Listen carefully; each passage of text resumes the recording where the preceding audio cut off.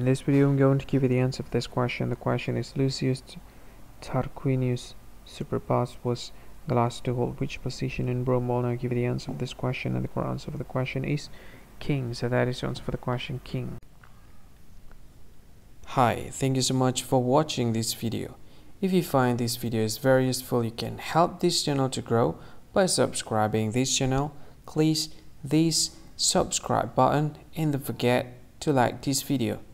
And if you find this video is not really good or you don't really like this video or you kind of feel that it's a little bit offensive or something like that, you can click this one, dislike button. You can do that anyway.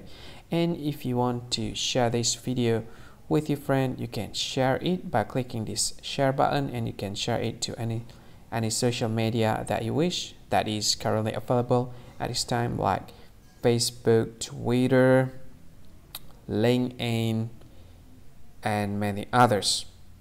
Right? And if you want to add this video to your playlist, you can click this one. You can watch this video later and you can find more options by clicking these three dots. And yeah, don't forget to subscribe. I think that's all of it. Thank you so much for watching this video and see you again in another video. Bye bye. See you again.